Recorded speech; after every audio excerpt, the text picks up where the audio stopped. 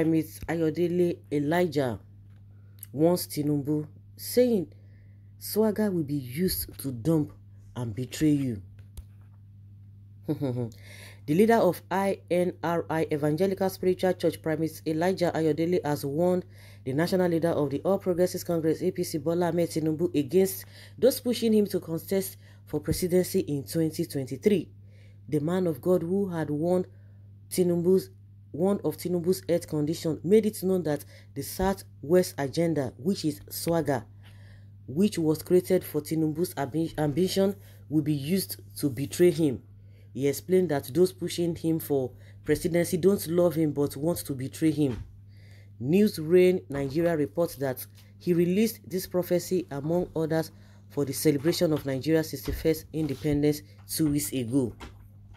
Primate Ayodele wants Tinubu, saying that SWAGA will be used to dump, betray him. And he said they will use SWAGA to dump APC national leader Bola Ahmed Tinubu and betray him. Betray him. Atiku should not dabble into politics in 2023. He will only waste his money. A lot will happen before 2023. The next president will be a surprise and shock to many. APC will break into three different parties. The third force can only work if the right step is taken. Wike will be relevant if he takes it easy. Consult God to play his politics or else he will shoot himself on the leg. A prominent politician will pass on in 2022. Governor Dapo Abiodun will face challenges. He must strategize for second term, otherwise his challenges will surmount him. IPOB will cause more problems. I see an aspirant being kidnapped. Let us pray against the death of any aspirant. Bayelsa governor will face challenges that will trouble his governments.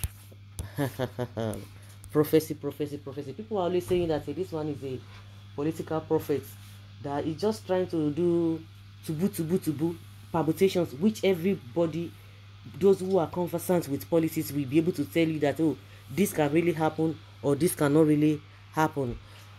Well, I the area which I really want to concern myself with is the area of uh, this uh, this particular the governor of uh, Ogun State He's talking about uh, the governor of Ogun State. I don't understand. So what is more important, at least to Ogun State now, is for this man to get his second tenure. Even in the first tenure, this man has done nothing. They are just there to fulfill all righteousness and just put their name that they've become this, they were this, they were that. I don't understand.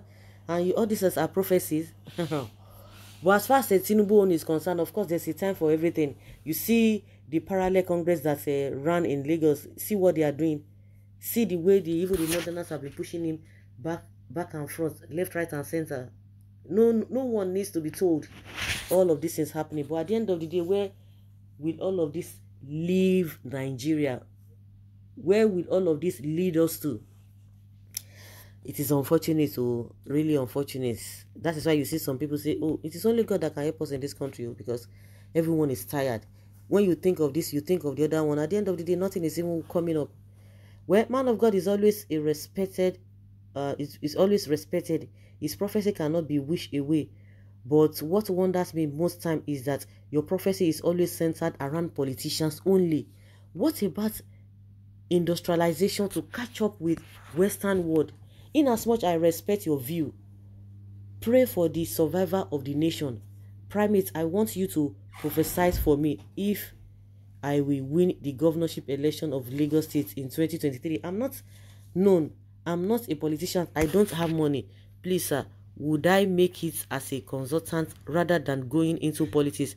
Prophesize for me, waiting for response. Like, seriously, Baba, why you abandoned Osinbajo? I believe Osinbajo will be our next president.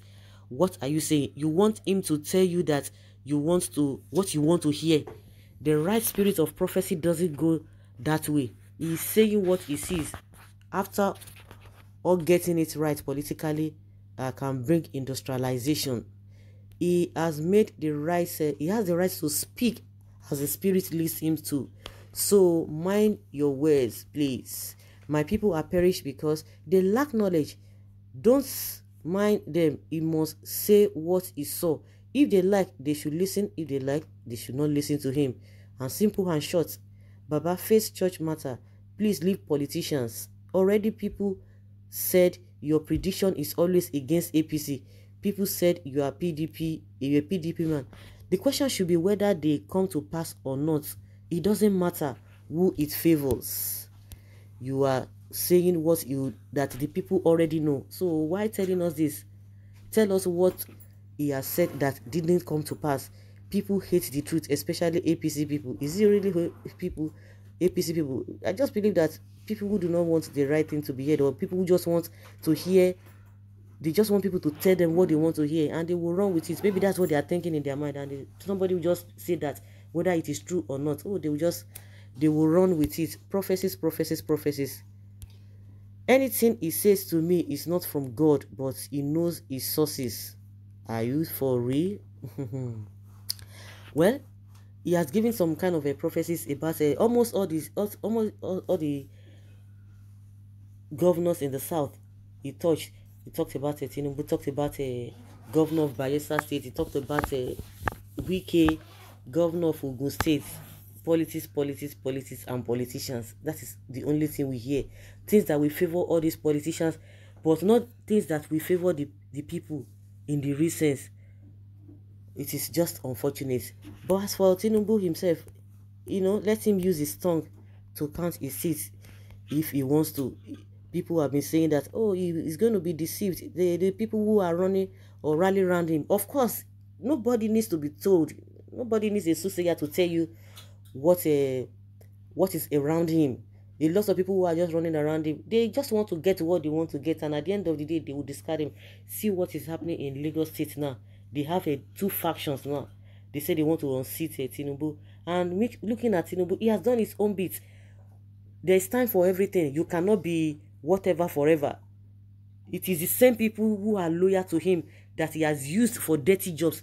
They are the ones that will, know his in and out and they will use it against him. When I hear people say, oh yes, Tinubu has built a lot of people. He has made some people to become what they want to become. You can count those people he has made. They are always telling us about 10 or 12 of them. At the end of the day, of what use to the general populace the people that he has made those people he has made are those people he believes that he will be doing his own bidding but at the end of the day to, to his greatest surprise they are the ones that will come for his downfall just like the prophet has said that those SWAGA whatever they have put together they will use it to dump him and betray him. And there's no uh, there's no there's no doubt about that. So guys put your comment down in the comment section on what the prophet has said